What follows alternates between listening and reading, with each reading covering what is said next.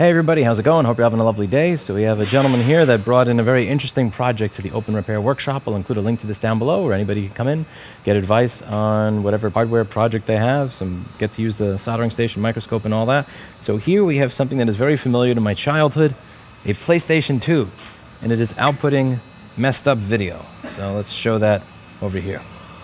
I'm just gonna put the capture screen on for the PS2 so you can see what it is that it is doing.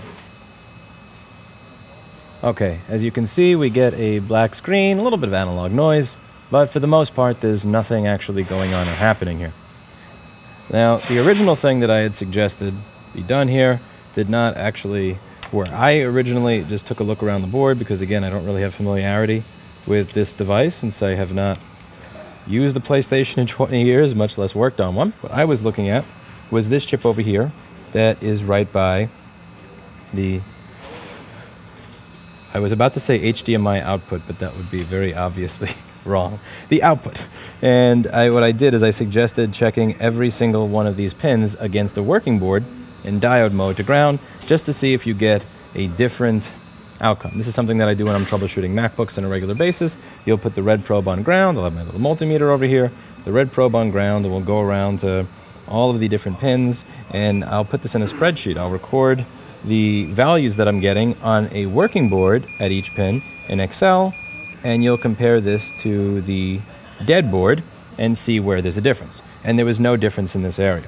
Now, he eventually found a video, which I will link down below, uh, that showed that there was a resistor network that sits between the Emotion engine and the GPU on the other side of the board over here. So here you have, and this is a real piece of nostalgia for kids that grew up in the 90s here. This is a Sony Emotion engine, baby. Is this 233 megahertz or 300 megahertz? I don't remember. I'm not sure. I think this is 200 megahertz. Either way, this is some old, old BGA tech right here. And over here you have what I believe is a graphics chip. And you have these networks of resistors that go between the graphics chip and the Emotion engine. And you also have them on the other side of the board. Now, these resistors, according to the schematic that we were able to find, were, I believe, 47 ohms.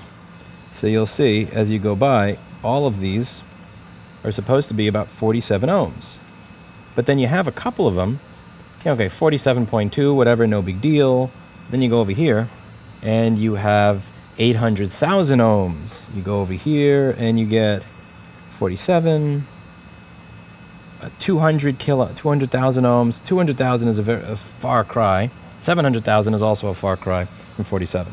Now there are websites where you can order these resistor networks, or you could just buy a 47 ohm resistor that actually fits in there, or if you have none of the above and you are a little bit of a risk taker, you can, as Sonny would say, jump it.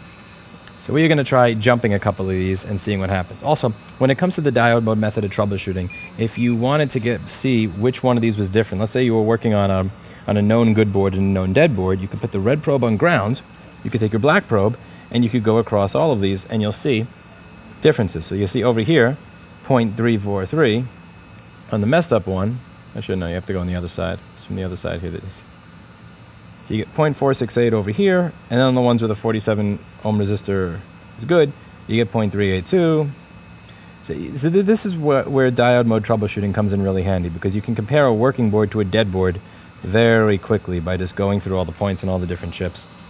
Uh, so let's get started. I'm to put a little jumper around here. Again, this is not to be clear. This is not something I would do if this was a power line. I'm doing this because, or something that was setting voltage for a power line or like a feedback for a power line or anything like that, I would not do this.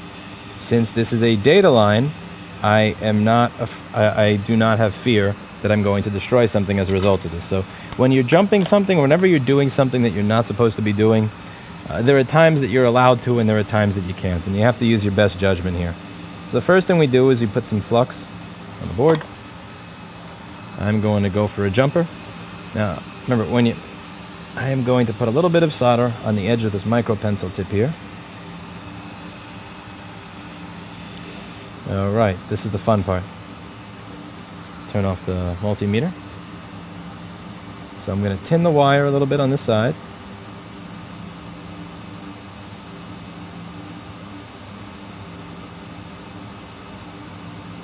This is a bit on the big side. I may go over there and grab some 48 or 50 gauge wire. This is, I believe, 36, which is just a little bit on the larger side for what I want to do here. This, and this is just, again just a little temporary hack until we get the proper resistor that we need for this. So once it's once that is attached, then I just pretend this is a paper clip, go back and forth, and break it off. What would have been smarter is if I had written down which resistors I need to do this to so I could do it all in one set, but I'm not exactly very smart. Alright, so let's turn this back on. So let's see, the first one from the right we did. Second one from the right is good. Third one from the right is good. Fourth one needs to be redone. Okay, so the fourth one has to be redone. The fifth one needs to be redone. Sixth one needs to be redone. Okay, so four, five, and six. The fourth and the fifth and the sixth from the right. We are going to run a little jumper over. We're going to go over the rest of them in a moment. All right, two, three. Okay, this is the fourth.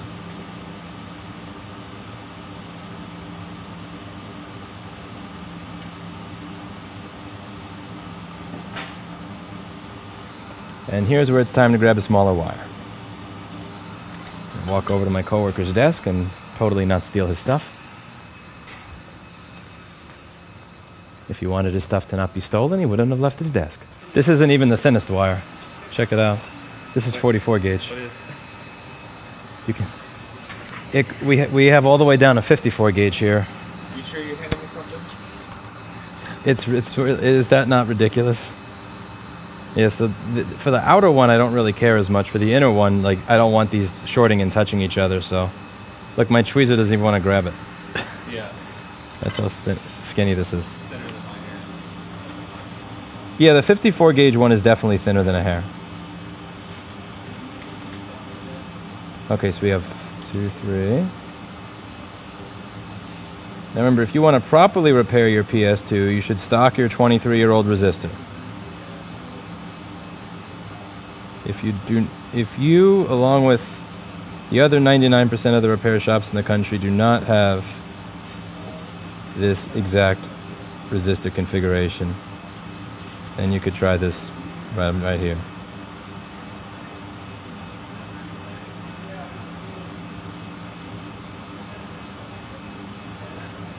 Now remember, this is this has an enamel coating on it, and the enamel coating is not going to conduct or attract solder, which is why I'm, I'm gently scraping it off. You see that? Like I'm moving the iron back and forth. That's not just my unsteady hand. Like, okay, well, some of it is, admittedly.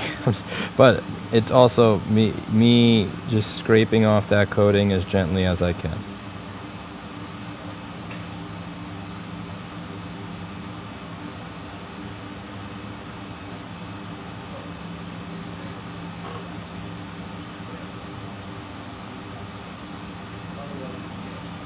And if this works, I get to rip all these wires off so we can have our student here try it himself. That's going to be the fun part. Okay, do this, before. Now we go through the rest of them. Let's see if. So these all. I have Harry Multimeter Pro. Oh, this thing turned off serial.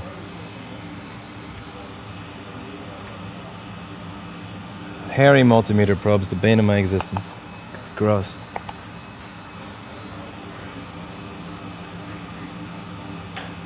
Forty-seven. Forty-seven.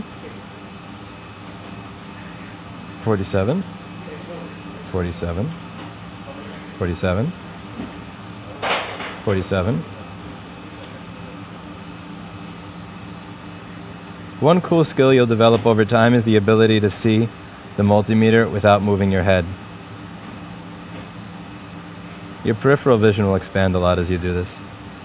47, 47, 47.2, 47.5, 47, 47, 47, 47, 47, 47, 47, 47, 47 and 600,000. Okay, so we go back to the 600,000 one.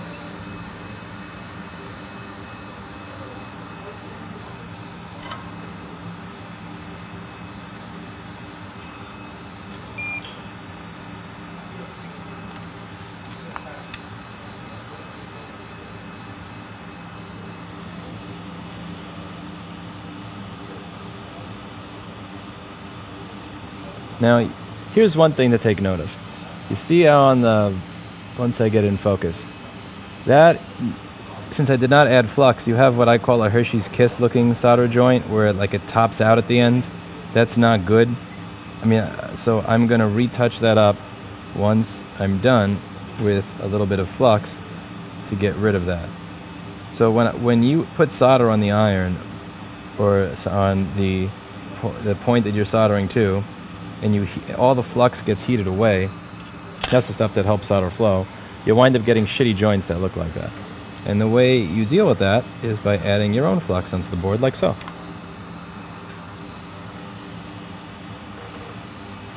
Don't let it become a bad habit to make joints without flux. There you go.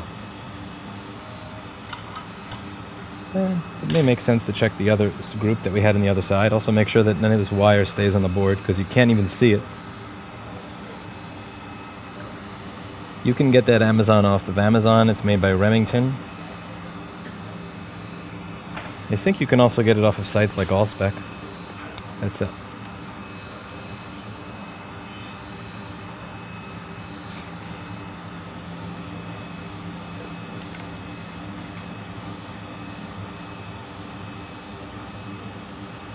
Forty-seven. Forty-seven. Forty-seven. 46 and a nine, nine, 47.6, 47.6. Again, we're not really sweating the 46.9 versus 47.6 kind of shit. We're, we're mainly interested in things where it's off by hundreds of thousands. Or hundreds. Like 47.8, I just, we, that's just not a big deal. 47.8, 7.8. What I'm personally surprised at is that a resistor failed that's essentially just passing data.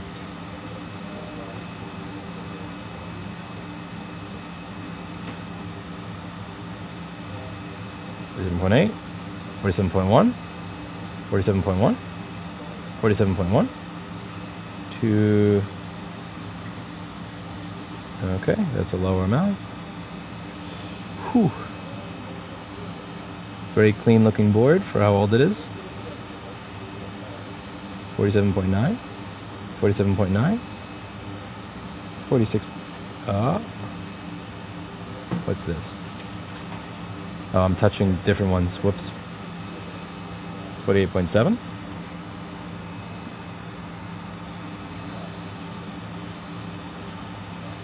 You know, the funny thing is, this component to HDMI output thingamajig actually has less analog noise than my piece of shit microscope camera that I'm using right now. See all those little lines going across the screen? I don't miss New York City, but I miss the microscope camera that I had in New York City. That was good shit.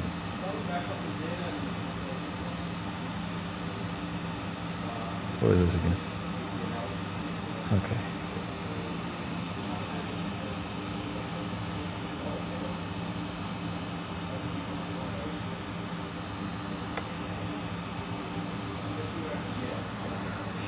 Four seven. Four seven point eight. Forty nine. Well, okay. So I think we're ready to try and see if this actually works. This is the exciting part. Plug in the video first. Eh? Sony Computer Entertainment, babe.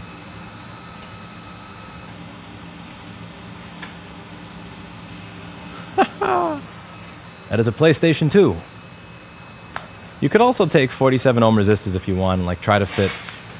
I think you could probably fit 603s if you put them up on their side. If you can't buy that multi thing resistor, you could just put 603 resistors on their side. I had a four. I had a 20 or 402, maybe 402. I have 0201s, but they're not long enough to make it to the other side. Yeah, the resistors I have for the new MacBooks don't fit this at all because they're too small. Oh, you can't get to the menu. Uh, tried to change the setting blind, but there there should be video that's being accessed here that's not there. After this, if there was no disk in the drive, it would ask me if I wanted to go to a menu or if I wanted to view the stuff in my memory card. There was the configuration menu and then the shit to look into my memory card settings. It should have two options. There should be um, like a browser and the system configuration option that it goes to, but it just goes to black. Maybe it needs to see something else plugged into it. Does it know that it has no CD drive? No, I tested this on a good one. It will Oh. it will get to that menu. Well, does it need a battery? It hasn't. This one has no battery plugged into it. That's just for the system clock. Ah. Let me turn this off so it doesn't burn the emotion engine. It's possible. It's possible. I mean, I'd have to reassemble it with the rest of the drive to see, but that's. I mean, that's definitely an improvement. Some progress.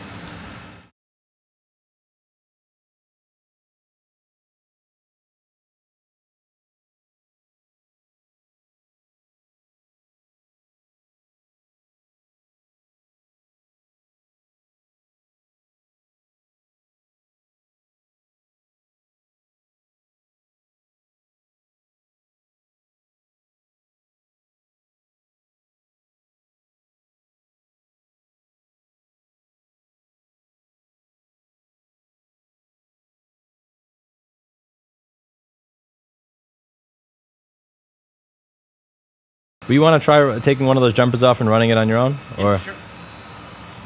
well, that's it for today. And as always, I hope you learned something. Check out the link down below if you're interested in bringing equipment by here, and uh, that is that.